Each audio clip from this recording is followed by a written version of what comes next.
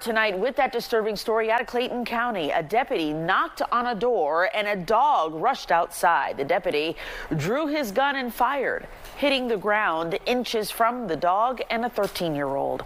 Thanks so much for joining us tonight on News Edge at 11. I'm Christine Spiro. Fox 5's Denise Dillon is live in Clayton County on the story, and both the dog and teen Denise were hit by bullet fragments. Yeah, and that 13 year old spent most of the afternoon and evening at the hospital being treated. I talked to his mom, who, of course, is extremely upset and worried about her son, and she can't understand the actions of the deputy. She did not jump on the cop. She did not bite it, bite the cop. She did not bark at the cop. What if you would have killed my dog and my son?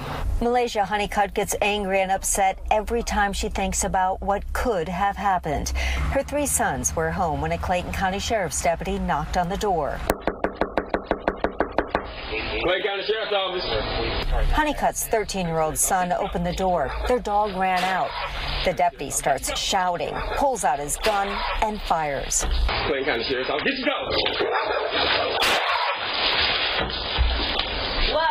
Get your dog. The teen grabs his dog and goes back inside. You can hear the deputy ask if he's okay. Y'all all right?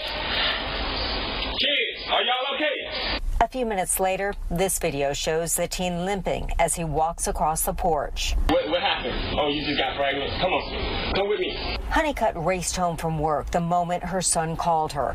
There were several patrol cars out front. She saw the gouge in the concrete by her front door where the bullet hit. So you have several other tools on that belt besides a gun to defend yourself. All I can think of, what if his aim wasn't that good? Honeycutt took her son to the hospital where she says x-rays showed the bullet fragments. The dog Coco has a graze on her knee and a fragment in her abdomen. If you're that scared as a cop of a dog and you open fire on the dog and the child, you might not need to be an officer. Honeycutt says her son is extremely shaken up, and so is she. It makes me sad to even think about it because what if that bullet went a little higher? I would not have a son. Yeah, the deputy was here to serve eviction papers. We contacted the sheriff's office for an interview or even a statement about what happened. That was several hours ago, and we still haven't heard back. Reporting live in Clayton County, Denise Dillon, Fox 5 News. Hard to imagine what could have happened if someone was hit. Uh, thanks so much, Denise.